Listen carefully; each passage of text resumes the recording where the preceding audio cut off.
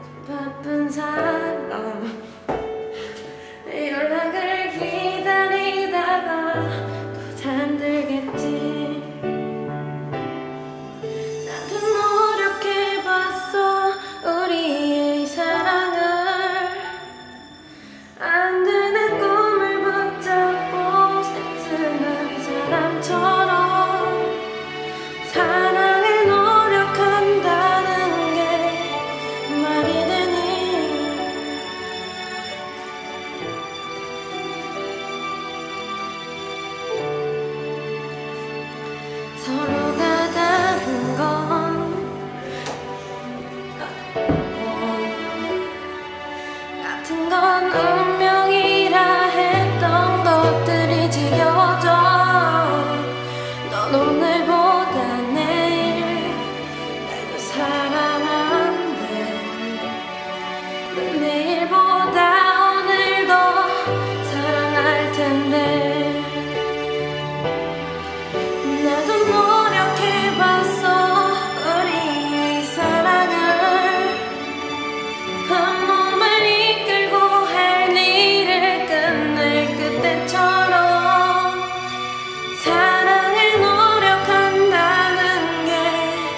Maria.